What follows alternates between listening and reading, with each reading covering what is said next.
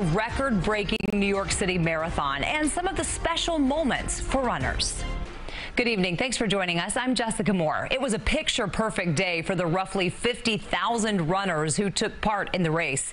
Across all five boroughs, thousands of New Yorkers lined the marathon route, ringing cowbells and cheering in support. CBS 2's Hannah Kliger is in Central Park, bringing us some of the amazing stories of people who crossed the finish line. Massive triumph for tens of thousands of athletes who have spent months training for this big day. From the start on Staten Island all the way to the finish line in Central Park, excited spectators with hoarse voices cheered nonstop. I'm really excited to be out there and, and feel the, the energy from the crowd and, and all of my, my family and friends who are, who are supporting me. Tamirat Tola from Ethiopia won the men's race in 2 hours, 4 minutes, and 58 seconds. It's his first TCS New York City Marathon title, and he broke a 12-year record. I work hard training so it is confidence for me. The women's race was dominated by Helen Obiri from Kenya with 2 hours, 27 minutes, 23 seconds. My first uh, debut here was terrible for me. And I said, like, I don't want to come back here next year. After that, I said, wow.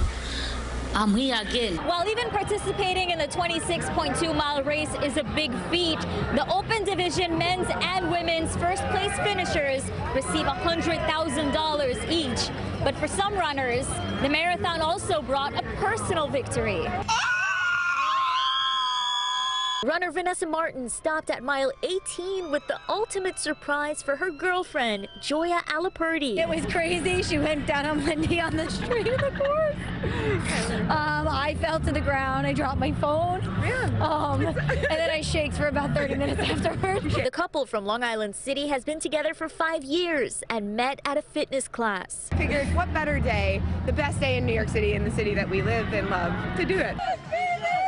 This family of apple farmers from upstate New York came to support their husband and dad, Doug Grout, who's running with the New York Apple Association. He just felt like it was really important to kind of rally everybody together and really represent farming. I think he knows this was his finish line where his family is. Exhausted but proud, the reunion at the end is worth it. It's my fourth one. I ran my first one with my mom in 2019 and got the bug. The Big Apples Marathon is the biggest and boldest in the world, widely considered the most anticipated annual sporting event in the city. In Central Park, Hannah Kliger, CBS 2 News.